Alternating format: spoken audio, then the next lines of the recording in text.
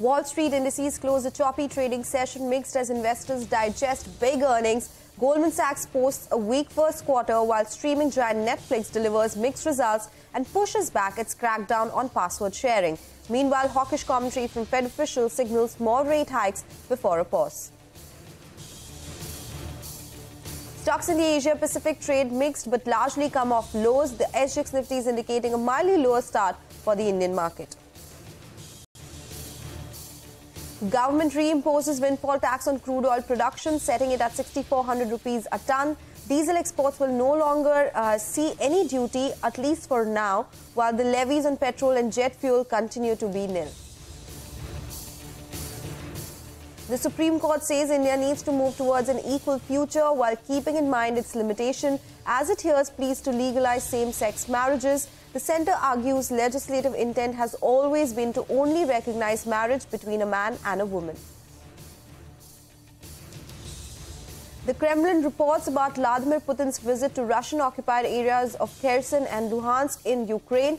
The Russian president's second such trip in less than two months. The Kremlin claims that Putin attended a military command meeting in the Kherson region.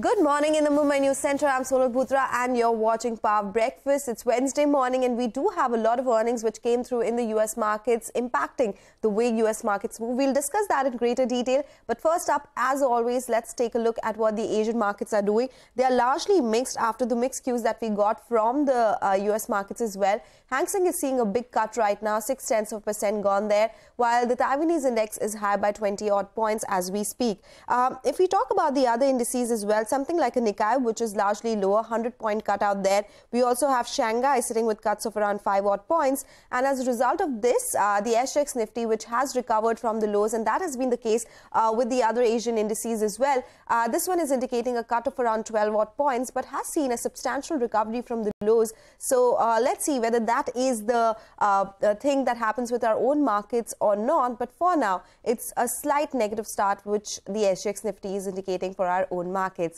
Uh, let's talk about the US markets then. Wall Street ended largely flat in overnight session. The Dow Jones and Nasdaq closed with a mild negative bias while the S&P 500 clocked a minor 3-point gain. Focus remains on earnings with Bank of America reporting a strong quarter while Goldman Sachs posted a weak set of numbers hurt by a slowdown in deal making. From the tech space, streaming giant Netflix uh, beat analyst expectations on earnings per share but fell short of estimates on revenue that came in at $8.16 billion. Shares fell as much as 10% in after hour trading but recovered most of the losses. Most importantly, Netflix has delayed the much awaited crackdown on password sharing to the second quarter of 2023. CNBC's Bertha Coombs gets us a wrap for all the action on Wall Street. Markets finishing the day mostly flat. The Dow closing slightly lower, shedding about 10 points.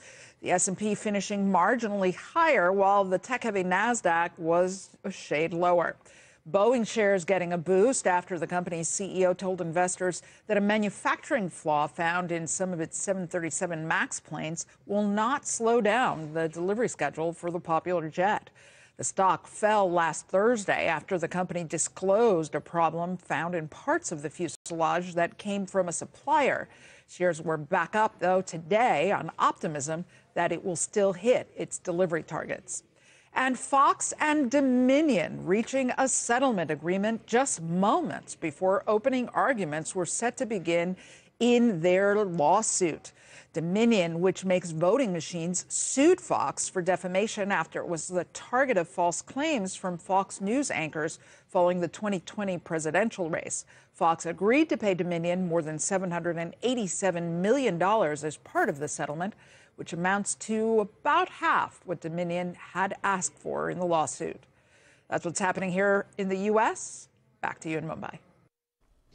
Okay, all right, that's the US market action. And let's stay with that then. St. Louis Federal Reserve President James Bullard says the Fed should continue raising interest rates on the back of recent data, while Atlanta Fed President Rafael Bostic told CNBC he favors raising rates one more time and then holding them above 5% for some time.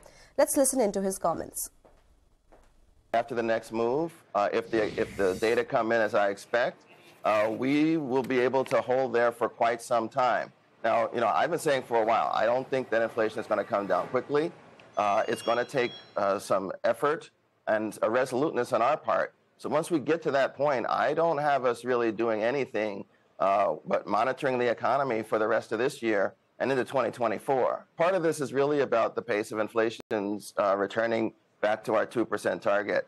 You know, I, I don't think that's going to happen as quickly as some of the markets do. And it seems that um, the question is who's right on this? I think that we've made a lot of movement in the last several months, uh, but now the hard part happens. Okay, so that is some Fed commentary coming in. Let's also hear out what uh, Wharton School's Jeremy Siegel and Bank of America CEO Brian Moynihan make of the Fed's policy decisions and their impact on the economy. I've done a calculation using current uh, prices and core year over year using current housing prices, both on rentals and on owner occupied homes, is down to 2% year over year. But it's over 5% in the official statistics. So I think inflation basically is, is back down to the Fed target using real housing data, both on the rental and on uh, home prices. Yes, two over two, wow. year over year, using actual housing data, not the delayed housing data that the, the Fed uses. We base our earnings on the, the market, and the market has a one Fed increase left and a forward curve and then has cuts. Whether those come true or not uh, is really going to be dependent on what the Fed sees after they at each meeting because they're completely driven by trying to figure out what's going on in data. Our team, uh, Candace Browning the research team, have a recession and have consistently had a recession predicted for the second half of this year, uh, third quarter, fourth quarter, first quarter of next year, and then ends and it, we start to see positive growth. And so that's based on the Fed tightening having finally taken hold, and, and those experts see that. Okay, all right. That's the global market action and commentary and expert opinion coming in. But how will these overnight cues impact our own markets? We have a research team joining in to tell you just that. A lot of domestic cues that we have to uh, talk about as well. What's the trade setup looking like? The stocks that are likely to be in the news and the action from the FNO space as well. Hey guys, a very good morning to all of you. Um, Ekta, as always, let me come across to you first up. Uh, what are the market cues we need to watch out for today's trading session? Hi, thanks for that. Well, good morning. It turned out to be a little bit of trepidation for the second consecutive trading session for our markets. So the Sensex and the Nifty fell for the second straight day. And we had the Sensex and the Nifty closing with minor cuts yesterday. FIIs net sold for the second consecutive session. So that was one of the big cues to watch out for considering that we have seen the FIIs buy continuously in the past couple of trading sessions. So FIIs net sold around 810 crores, DIIs net bought around 400 odd crores. You've been talking about what took place in the US markets. It seems as though earnings is top of mind. Netflix disappointed. Bank of America was okay. Goldman Sachs uh, was a bit disappointing, but there was no kind of spillover in terms of systemic risk uh, for the banking space. So that seemed to be a positive. Asia is currently mixed, and the SGX is currently indicating a bit of a soft start. Crude has edged higher on falling US inventory as well as Chinese data. Just watch out for two factors for our markets the broader markets outperforming and the Nifty Bank showing resilience going forward as well. We have earnings today ICICI Securities, Mastek, Tata Communication. So, a couple of numbers to watch out for. Yes, okay, all right. Uh, thank you, Ekta, for all those cues. That is the market setup for today. But a lot of stocks will be in focus as well. Vivek is joining us with that list. Hey, Vivek, good morning. Well, good morning. Absolutely, quite a few results that came in post-market hours yesterday. First on our list is ICICI Lombard. Now, it's been a slightly mixed quarter from the company. While the profitability was above our poll, uh, you know, profitability coming in close to 437 crore versus our poll of close to 377 crore. Some of the other parameters were a slight miss. So the net earned premium came in at close to 3,726 versus our pool of a slightly over uh, 4,000 crore. We're also talking about the gross direct premium income coming in close to 4,977 crore versus our pool of over 5,195 crore. Now, when you're talking about the management commentary, one key point to uh, keep track of, the management has continued to maintain its guidance of a combined ratio of 102%, and this is something that the street will take some confidence from. Also, watch out for Tata Coffee. The company delivered its results yesterday. Revenues higher by 10%, coming in at the 723 crore mark. However, EBITDA as well as EBITDA margins has actually contracted, margins coming in at 15% versus 17% last time around. However, profitability jumped higher by almost 9%. Uh, keep an eye out for Piramal Pharma. Some positive news flow coming in over there. The US FDA completed the inspection of the company's Telesur manufacturing facility. No Form 483 uh, observations, and therefore the company got an EIR, that is an establishment inspection report. Lastly, Avalon Technologies, yesterday's listing, you know, Goldman Sachs picked up almost 7.95 lakh shares in the company via block deals yesterday. Okay, a lot of stocks which are in focus. Thank you, Vic, for that list. Let me go across to Nigel now with all the cues from the F&O space. Hey, Nigel. Well, um, morning, Sonal. In yesterday's trading session, you had the financial Nifty services that played out its expiry, and that could be one of the reasons that we ended low. And the Nifty Bank didn't participate yesterday. At the end of the day, we're looking at the total open interest, and both on the Nifty and on the Nifty Bank, well, there was some shedding in terms of open interest. So some unwinding of positions is what we saw. The FIs, well, in the aftermarket, they didn't do much. You know. Uh, little bit of uh, uh, unwinding is what we saw in short, some long addition as well. So not much action out there. But the long positioning now goes to around 37% odd, while the short positioning is at around 63%.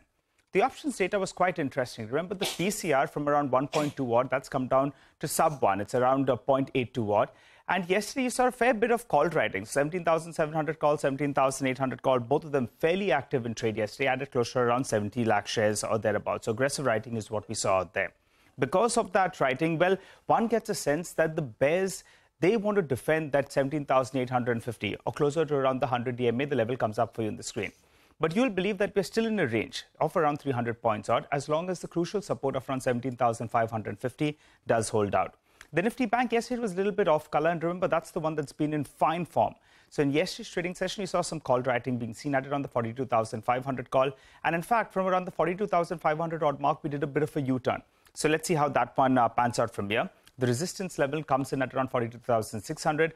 On the downside, though, as long as that 41,700 odd mark, which is the 100 DMA, holds out, you'll believe we're good for more. SGX Nifty was indicating a deeper gash, but for the time being, it's indicating a bit of a downtick of close to around 20 points. So let's see how this one goes. Back to you. Okay, all right. Thank you, Nigel, for uh, those cues from the F&O space. Uh, this is our Power Prep segment. Uh, we'll slip into a break now. Up next, the government has issued its latest revision in the windfall gains tax. More details after the short break. Stay tuned.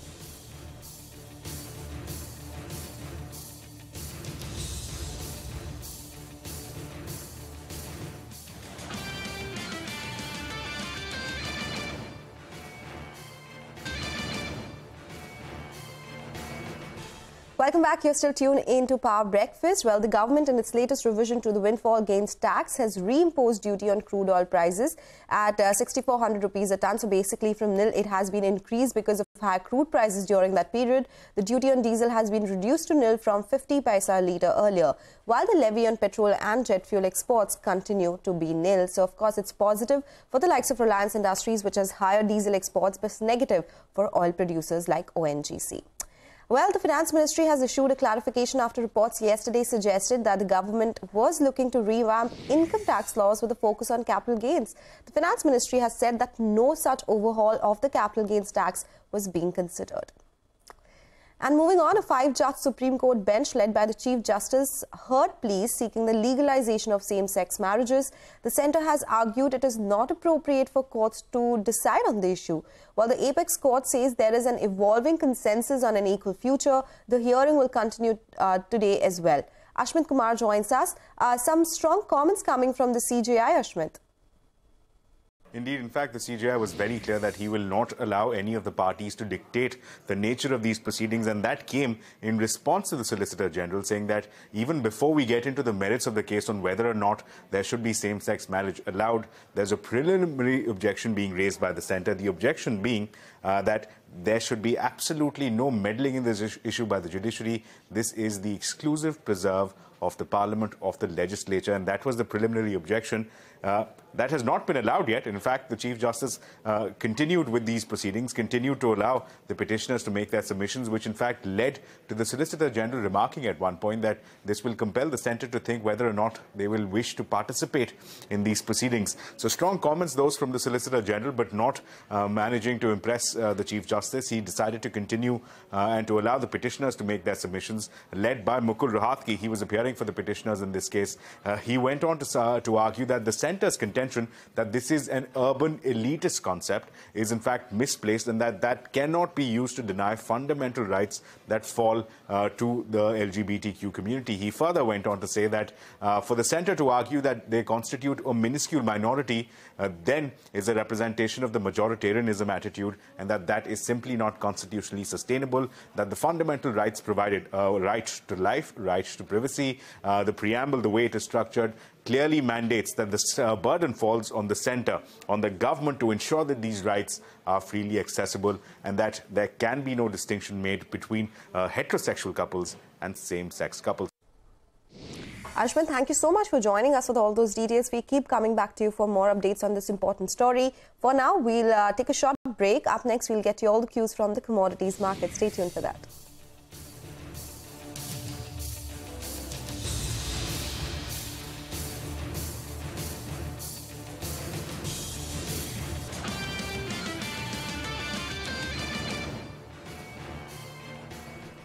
Welcome back. Uh, well, let's talk about commodities now. Uh, Manisha Gupta is joining us with all the update from the commodity space. Hey, Manisha, good morning. What's up in the commodity markets?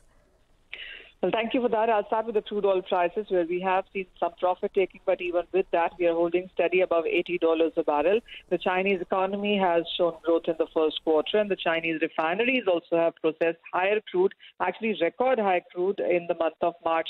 OPEC will start reducing from the month of May, and the Russian crude oil exports in the meanwhile have been above 3 million barrels per day in the previous week. The U.S. crude inventories also have declined, and that seems to be supporting the crude prices in the Asian markets right now. So overall, 80 is where we are looking at a pivot point now coming in for the crude prices. But a very strong gain is what you are seeing in the metal prices. So whether it's aluminum, which gained up by 2.5% overnight, palladium is now trading at a two-month highs. Iron ore prices, which have been languishing at around three-month lows, also have seen some buying in last two trading sessions. China's strong demand estimate really seems to be working its magic across metals, and not just these. Tin prices gained up by 10% overnight after Myanmar says, and Myanmar is the third largest producer of tin. They have banned mining activities from the month of August. So fundamentals really seem to be catching up as of now. Okay, thank you so much. So that uh, that is all the update from the commodity markets. Uh, Manisha, thanks a lot for joining us. Moving on, yesterday Apple CEO Tim Cook threw open the gates of the 28,000 square feet retail store in Mumbai's Bandra Kurla complex to a throng of Apple fans who queued up for hours to experience the range of products at the new store. The Apple Watch specially has emerged as a useful tool for collecting health parameters and performance metrics for the athletes. The Apple CEO visited the Mumbai Cricket Association's badminton courts and spoke to News 18 India's Debashish Sarkar on how the Apple Watch has emerged as a key tracker of health parameters for sports persons. Listen in. Welcome to Mumbai. How are you feeling? It's wonderful to be here. It's so great to be in India. We've looked forward to this week for a long time. Great. It feels so lovely to meet you in person. And today I want to talk about the Apple Watch. Yes. Uh, you know, how has Apple been able to create uh, such a health and fitness device uh, that, that can reach so many people in a meaningful way, be it professional athletes or somebody like me who just wants to stay fit? You know, it started with focusing on wellness and these creating the three rings, the move, stand, uh, and your, your exercise burn. And it went from there to heart rate and uh, detecting AFib. And of course, notifications came early on as well. And so it has just expanded to cover the, the waterfront of people's needs. And it's so great for me to come here and hear how it's used in actual training. Uh, but I get notes every day from people who uh, found out they had AFib. Right. And they, they've told me that their doctors told them they would have died if they had not, not found out about it and reached out to a doctor for help. And so we just keep pulling the string to see where it takes us. Uh, one of the athletes here today told me that they use the sleep function a lot. Right. And all of them use the heart rate function to see which heart rate zone they're operating in.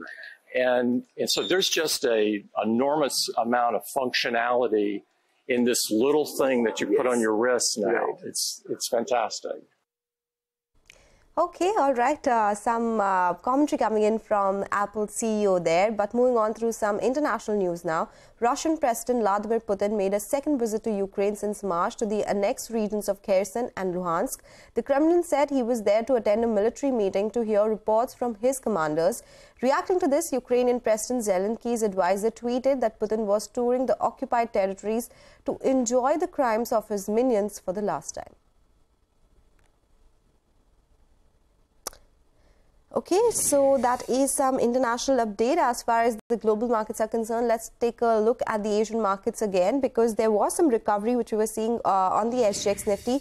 The Hang Seng, as we speak, uh, is still down. In fact, it has uh, worsened in terms of moves. So 1.2% is the fall on Hang Seng, and Taiwanese index has also fallen from the top. SGX Nifty 2 at the start of the show was down around 10 odd points. And as we speak, SGX Nifty is indicating that the start for our own markets could be in the red. A 26 point downtick is what that index is suggesting.